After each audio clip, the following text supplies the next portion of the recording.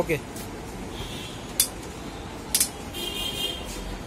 MI price কত বলে এগুলো পঁচিশশো টাকা একদম লাস্ট হ্যাঁ এটা হচ্ছে কন্ট্রোলার ম্যাগনেটিক কন্ট্রোলার অর্থাৎ কন্ট্রোলার দিয়ে হার্ড লুজ করতে পারবেন। যেমন এখন কষ্ট হচ্ছে করতে।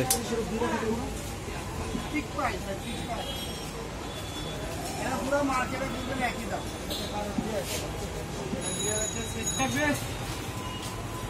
এছাড়া ওই মেশিনটার আপনি চাইলে সিট আপ ডাউন করতে পারবেন, অর্থাৎ সিট অ্যাডজাস্ট করে আপনি আপ ডাউন করে অ্যাডজাস্ট করে কিন্তু আপনি মেশিনটা চালাতে পারবেন এবং হাইটও অ্যাডজাস্ট করতে পারবেন, অর্থাৎ সিটটা উঁচা নিচা করা যাবে, সামনে পিছনে নেওয়া যাবে। সামনে পিছনে আপনি just দেখাচ্ছি যে মুভ করা যায়। মুভ করে আপনি যেভাবে কমফর্ট ফিল করেন, সেভাবে ইয়ে করতে পারবেন। আর এখানে হচ্ছে আপনার ম্যাগনেটিক কন্ট্রোলার ডিজিটাল মনিটর কত স্পিডে চালাচ্ছেন, কত কিলোমিটার চালালেন, কত ক্যালোরি বার্ন হলো ফুল ডিস্কগুলো দেখতে পারবেন।